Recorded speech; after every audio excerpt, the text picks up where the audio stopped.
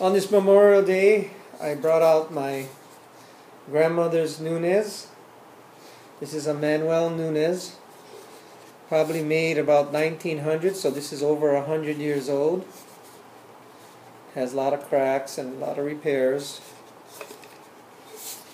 And she was the one who probably played the ukulele to me first. And this is her ukulele. And this is the first song she ever sang to me. I'm gonna have to look at the words, but here I'm gonna give it a try. I don't like shoes upon my feet.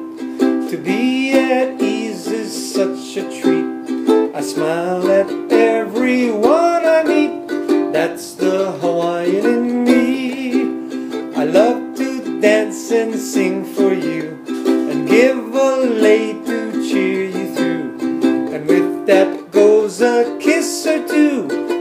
The Hawaiian in me.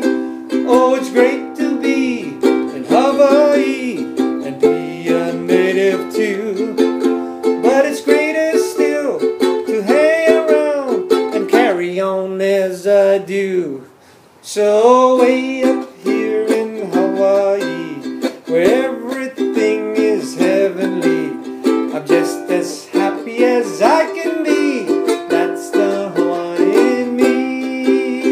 That's the Hawaiian me. And that's to my grandmother on this Memorial Day.